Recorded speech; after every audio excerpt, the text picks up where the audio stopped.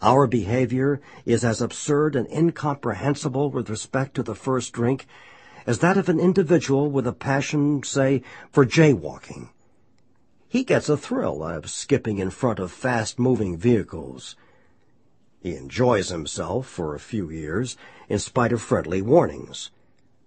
Up to this point, you would label him as a foolish chap having queer ideas of fun. Luck then deserts him, and he is slightly injured several times in succession. You would expect him, if he were normal, to cut it out. Presently he is hit again, and this time has a fractured skull.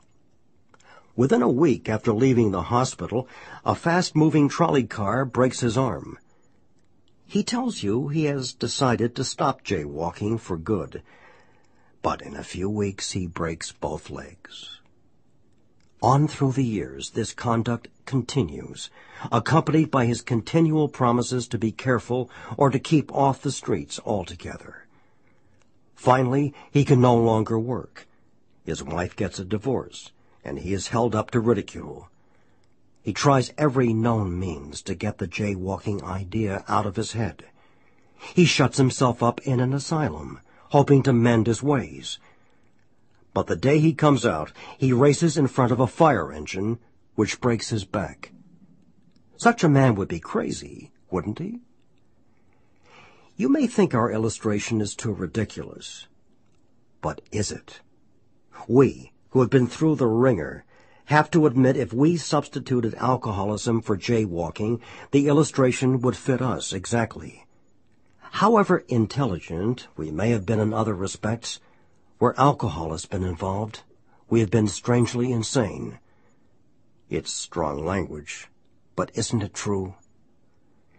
Some of you are thinking, yes, what you tell us is true, but it doesn't fully apply.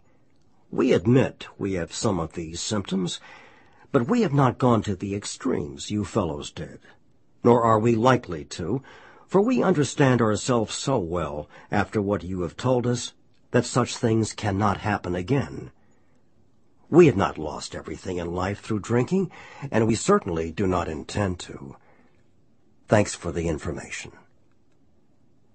That may be true of certain non-alcoholic people who, though drinking foolishly and heavily at the present time, are able to stop or moderate, because their brains and bodies have not been damaged as ours were. But the actual or potential alcoholic, with hardly an exception, will be absolutely unable to stop drinking on the basis of self-knowledge. This is a point we wish to emphasize and re-emphasize, to smash home upon our alcoholic readers as it has been revealed to us out of bitter experience.